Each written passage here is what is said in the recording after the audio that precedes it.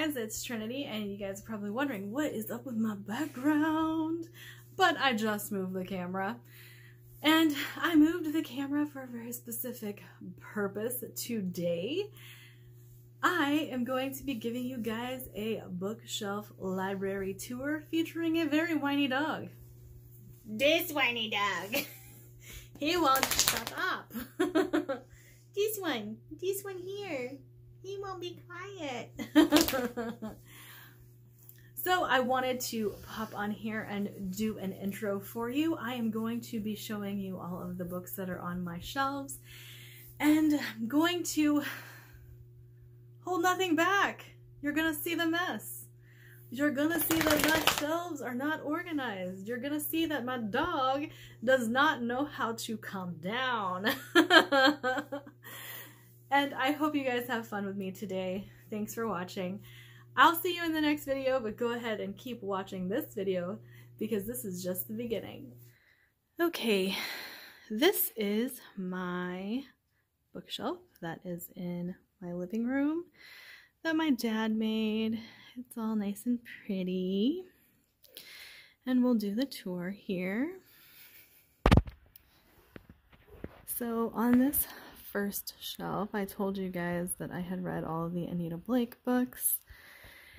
And starting at the left are the Anita Blake, and then Kiss of Shadows is the start of the Merry Gentry.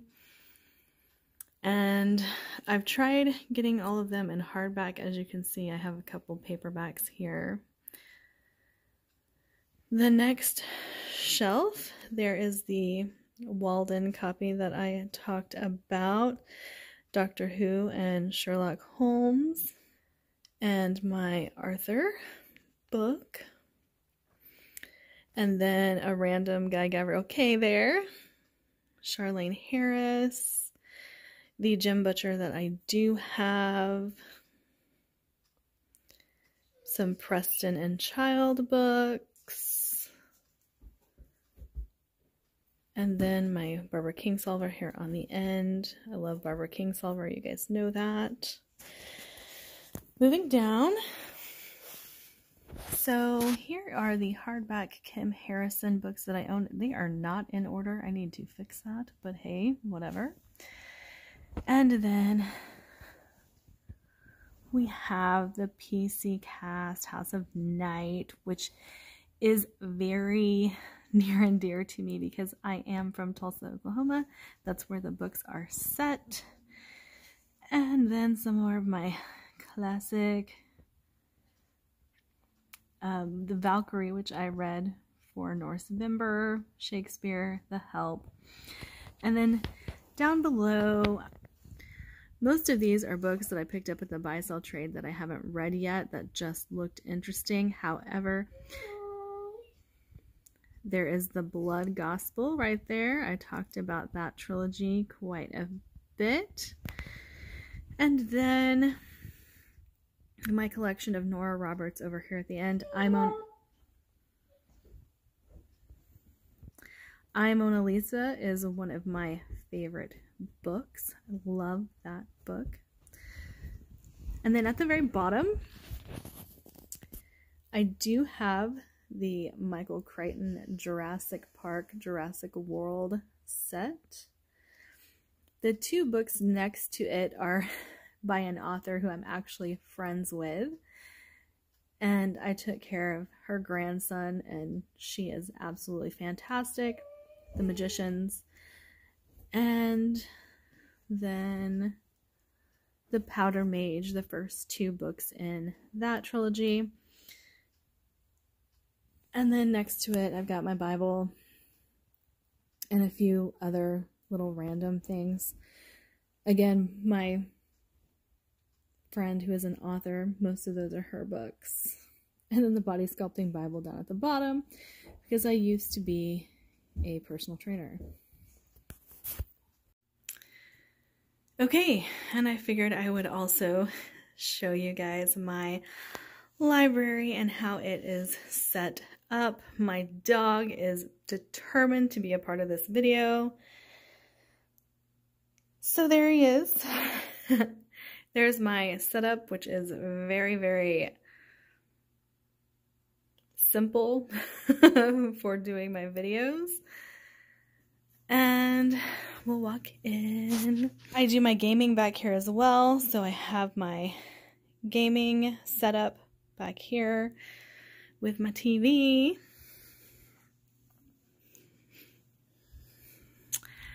And the sign you guys always see, which says my library. Of a sign that says, don't let the muggles get you down. Oh, and there is my sign that's on my door. because yes, I do write. Okay, at the top here we have Shiro and Voltron, my New York Yankees piggy bank, and a Minecraft cow because my son's toy ended up back here and I'm not sure how. Okay, first shelf we have Aloy and Aaron from Horizon Zero Dawn, and this would be Wizard's First Rule, that that series. Terry Goodkind. I've read the first two, but I have enjoyed them. I know Terry Goodkind is not popular, but I do like Terry Goodkind. Okay, next shelf, you see the cards that I have handy for me when I do my videos. Then we have Tad Williams' Otherland series. I am missing one of the books, but there is Sherlock. And I plan to read Otherland as soon as I can get to it. I've heard very good things about the Gap series by Stephen R. Donaldson, and I found them at a used bookstore, so I went ahead and got them because they were like $3 a piece. One of them says $4.95 on the spine, but it's lying. And then Jonathan Maberry, Rotten Ruin, that series I really, really enjoy. It is almost middle grade. Oh, and here, look at this. So this was a gift. And it looks like a book. but it's actually an LED light. Very cool. Oh, and there are books that are on my current TBR that I'm reading. Okay, next shelf. I don't know why there's a cord there, but there is. We have the Shannara series from Terry Brooks. Again, I have read the first book in the Sword of Shannara trilogy. Don't remember what it's called, but that book all the way to the left is a bind up of the first trilogy. And then I have Kate Elliott. I have read Cold Magic, Cold Fire, Cold Steel, and I am going to be doing a reread of that very soon. The others I haven't read yet. Okay, towards the bottom. This is kind of my not fantasy books that I have here. Widow of the South, Burial Rites is so good. And then most of them I've read, but some of them I have not. You guys saw me reading After Alice. Here is my hoard of books that needs to go to the buy sell trade. Uh, some I'm giving away to other people, and an upcoming video. All right. So in this corner, you can see that I have a painting of Hogwarts with the Quidditch pitch on the in the background there. My best friend Taylor painted that eye for me. Love it. And then Nathan Drake from Uncharted. We have Dany and Sansa, and then just a really pretty skull. Here is my Lawhead shelf, and that is an apple that I got whenever I was teaching. And you can see all the lawhead that I have. Hood is my favorite. I've never been able to find Scarlet or Tuck in hardback, and I'm still on the search for them. So if you guys come across them, let me know. And then the favorites shelf. Here we have the favorites shelf, Anthony Ryan and Brent Weeks. Um, I am missing the black song. I have not purchased it yet. I need to find it in hardback. And some people ask me why I don't have Anthony Ryan's The Waking Fire and The Legion of Flame in hardback. And I am going to show you guys. So here is my copy of The Waking Fire. And it's autographed. I'm a huge Anthony Ryan fan, and so he went ahead and sent this to me, and I absolutely love it. And the Legion of Flame is the same way. So that's why I haven't replaced them, because I have no intention of getting rid of these. And also here is my beautiful collector's edition of the Night Angel trilogy. It is solid black and a little dusty, but I adore it. And you might notice Lightbringer is missing, and that's maybe because it might be in another video, or in my next video. the next shelf here is kind of my catch-all shelf, supposed to be sci-fi, but I wanted my Joe Abercrombie over here too. So we have the First Law trilogy, the rest of Abercrombie's standalones that connect to the First Law. I don't have the next series yet, but I'm working on it. Then, of course, my collection of sci-fi Space Between Worlds. Love that book. Artemis. Love that book. Excited to read Thunderhead. And then we have the bottom shelf, which currently has a book missing, and I'm sure you can see that. The Year of the Witching was my favorite book last year. Loved it. Well, Empire of Ashes was my favorite book, but it was one of my favorites Love Dracula the Undead. There we go with that. Okay, and then I have my Pop Sugar next to be read books on a little shelf up here. And Harley and my purple skull over here and my can of books that I tend to draw from when I can't what I decide what I'm gonna read. And then my young adult shelf, which is half the size of the rest of my shelves. But I have all of my Leigh Bardugo over to the left. I am missing the second book in the Shadow and Bone series. All the Stars and Teeth. I need to get the next book in that one. And there we have the Doctor. And then I need the second book in the Queen of the Tearling series. Missing that one too.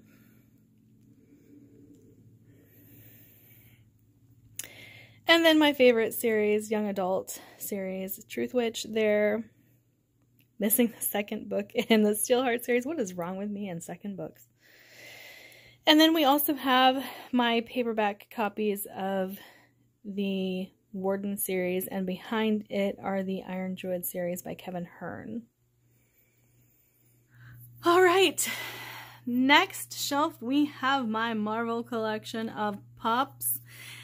And then, for some reason, I have my Sarah Ryder and my Hawke pop figures next to them, and my son. So the first shelf in this, you will see that the yard is missing from the first series. That is because it was over on my to be read very soon. And then I told you that my Scott Lynch collection, the books were very erratic in size, and you can kind of see that right here. Then I have the Gareth Hanrahan books and Robert McMahon. Both of those series I still need to read. And Sanderson. I have started buying all of my Sanderson books in hardback and getting rid of all of my paperback books. So I am slowly replacing all of the paperbacks with hardback, which is why I said there was a whole shelf of Sanderson and now there's not. so very erratic here, just getting them when I can find them. John Gwynne next to it. And the next shelf starts with with Peter V. Brett and another random guy Gavriel Kay. the the trilogy from Mark Lawrence that I first read, and then my Robin Hobb, which does continue down to the next shelf. Name of the Wind. I have not bought the second book in the series mainly because I really want the anniversary editions of them, and I would rather buy the anniversary edition of the second book and have them kind of be special. And they are just, this is just my random fantasy kind of shoved in a hole books. I had done a video of authors that I was going to give a second chance to, and they're just stacked here in case I decide I want to get rid of them or not get rid of them. However that goes, they're just sitting there waiting for me to read them and figure out if I'm going to get rid of them or not. so the boxes, these are also books that I am getting rid of. And we had a house fire not too long ago, and I really went through all of my books to see what I wanted to keep, what I wanted to give away. Harry Potter is obviously in a special place over here. And this is my closet. Or is it? No, it's not. It's more books. so this is a mess. And judge me if you want to, but you don't have to, but you can. It is my random collection of writer's books it is my Horizon Zero Dawn and Dragon Age art books and comic books, and my H.P. Lovecraft and vampires. It is also where I store some things that I can't seem to find a place for. they end up in this pile right here. Also, a lot of my annotation doodads are down here. Okay, the first shelf up from that. Uh, PC Cast Moon Chosen was a gift, but these are a lot of my young adult that I haven't got to yet. But a lot of the things in the closet, they are simply shoved in here because I can't figure out where else to put them. But we also have the Temeraire series by Naomi Novik, Above that are some of my Charlaine Harris books, some of my Kristin Hannah books, and then pretty much a random selection from there on. I do have my Guinevere series down here at the end, Rosalind Miles. Haven't read Sabriel yet. Okay, on this shelf is where I keep my horror mystery thriller type books and as you can tell, I like the Odd series by Dean Koontz. I do have a Stephen King that I keep trying to read and never enjoying. Uh, Seven Half Deaths of Evelyn Hardcastle, love that one. Brom's the Child Thief, love that one. And H.P. Lovecraft, of course, again. Floating Dragon by Peter Straub. That was actually recommended to me by Anthony Ryan, and I still haven't read it. Bad fan. Okay, the next shelf is kind of a hodgepodge of paranormal romance and mystery. Actually, just what will fit over here. So, let me give you a good look. There is the Goddess Summoning series by PC Cast, which is one of my favorites. Some of my classics. And then a lot of these are on the end are ones that I had for school. These are, however, double stacked. And you can see there's a lot of my Kelley Armstrong. There's my Trudi Canavan. And there's the rest of the Sookie Stackhouse series. Oh, and The Great Hunt by Robert Jordan. And it's hiding back there because I read it and I didn't like it. Okay, the next shelf we have Red Rising. I told you someone bought me the trilogy. There it is. More Preston and Child. Emma Newman. I only own the first book. I need to get the rest. E. e. Knight A couple of other series that I plan to start. Oh, Library of the Unwritten. Loved that. Can't wait to get to Benty. And now up here is where a lot of the books I have pulled down for another video have come from. Uh, Kingmaker, Kingbreaker, I'm very excited to get to. Greg Iles, I really like his writing, so I have read most of that series. You guys know that I'm going to be reading Theft of Swords, so the first one of that is missing. And I've heard very good things about Jennifer Fallon, so I wanted to try both of these series. Found at a used bookstore for fairly cheap, so I was like, yay. And Fenrir and Wolfsangel by M.D. Lachlan is a Norse book series. Up here, I have some classic romances that are autographed that my mom gave me, and then a very, very old edition of Sherlock Holmes because I love Sherlock Holmes, and why not? More wands, of course, because I'm that type of person. And then some Doctor Who paraphernalia, a painting that my sister gave me from Petty. And then this is more Dragon Age comics.